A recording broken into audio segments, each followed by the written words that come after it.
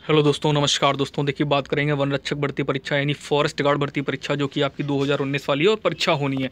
तो दोस्तों, आयोग ने जारी कर दी है नोटिस एग्ज़ाम को लेकर के और क्या है आपकी एग्ज़ाम डेट? दोस्तों, आज की आवश्यक सूचना है, ज़रूर इस वीडियो को शेयर करिएगा और लाइक तो ज़रूर करिएगा, ठीक है ना? चलिए, आपके अपने चैनल से अगर आप लोग नहीं जुड़े हैं तो दोस्तों, नीचे रेड कलर की सब्सक्राइब बटन दबाएँ और तुरंत बेलाइकन प्रेस कर ले, जिससे कि आपको हर जानकारी समय से मिलती रहे और जितना भी लाइव सेशन होता है, जो भी क्लासेस प्रोवाइड की जाती हैं, वो भी उनका नोटिफिकेशन आपको समय से मिलता रहे। उसके लिए बेलाइकन को ज़रूर दबाएँ।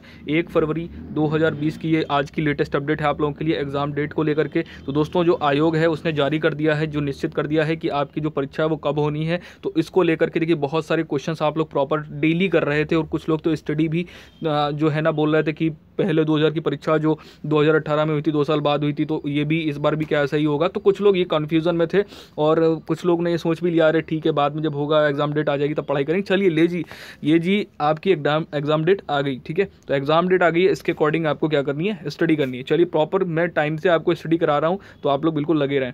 चलिए, चलते हैं आपके ऑफिशियल नोटिफिकेशन में। लो जी, जो डेली परेशान हो रहे थे एग्ज़ाम डेट को लेकर के आ गई है आपकी एग्ज़ाम डेट ये दिए गई, ये आप देख रहे हैं। पाँच और परीक्षा जो है, पांचवी परीक्षा है 2019 और वन रक्षक एवं वन्य जीव रक्षक सामान्य प्रतियोगिता परीक्षा और 2019 ठीक है? तो यहाँ पर जो फॉर्म आपका आया हुआ था, ये कैसा क्या है और पाठ्यक्रम कब जारी किया गया तो यहाँ पर ये अपडेट दी गई। इकतीस अक्टूबर 2019 को पाठ्यक्रम और परीक्षा योजना को लेकर के प्रकाशित कर दिया गया था। यानी यहाँ पर कहा गया है कि एग्ज़ाम पैटर्न और सिलेबस दोनों मैं आपको दे चुका हूँ और आप लोगों ने अगर नहीं देखा है तो नीचे डिस्क्रिप्शन लिंक आपको मिल जाएगा, उसमें देख लीजिएगा। नहीं तो और भी जो क्लासेस चल रही हैं, उसमें आप देख सकते हैं, ठीक है? चलिए, अब यहाँ पर हम बात करेंगे जो आपकी परीक्षा होनी है, वो मार्च माह में होनी है। 2020 में लिखित परीक्षा संभावित है साफ़ साफ़ यहाँ पर दिया गया है, ठीक है? तो ऐसा कोई ये फेक न्यूज़ नहीं है। आप देख रहे हैं कि ये जारी की गई है। ठीक है भाई?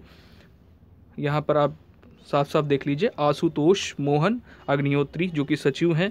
ठीक है? यूपी त्रिपलसी आयोग द्वारा ये जारी की गई है। तो दोस्तों, आपको समझ में आ गई? ऑथेंटिक जानकारी है, जो कि आपके इस अपने चैनल पर दी जाती है। कोई फेक न्यूज़ नहीं है। तो इसको ज़्यादा से ज़्यादा शेयर करें और लाइक करें। मिलते हैं नेक्स्ट अपने सेशन में।